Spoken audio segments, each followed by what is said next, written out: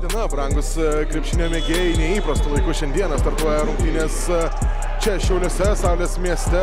Ketevičius, jo rankose komolys. E, Puikus perdavimas ir čia Paisilis. 10 sekundžių. Šiaulių komandos takai, Leonardas Torpas iki galo viso varžovų gynybos prastą. Pirmą šių rungtynių ketvirtį. Na, nedaug laiko stabdymo. Dinamiškas krepšinis, Paulius Tanusevičius, tai vyksta, atakuoja kamulio, Giedrius Staniulis.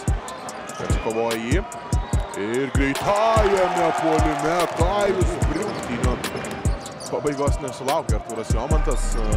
Sudirbo dvi techninės praktijas, o čia nemanė bet pradėti Galamaut. Gitevičius.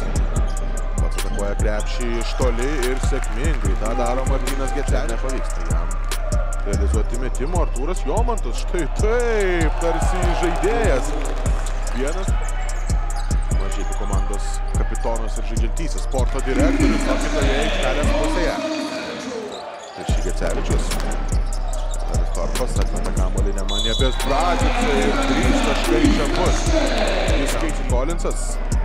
Gecevičius. Čia puikiai mato aikštelę Martynas Gecevičius ir įsirašo dar sekundės takai. Henrik Antoninas, jo prasiveržimas arčiau krepšio, na ir tiesiog laisvų koridorium čia dar ir suklysta. Šiaulių krepšininkai ir štai taip, pirmojo parketo ir apsigina. Mažiekia Mbaskė Delamaut. Kajus Brunke iš toliai. Tikslus, Kajus metimas. Gecevičius. Pats takoja krepšį iš toli. Martynas Gecevičius daro tai, ką moka daryti geriausiai.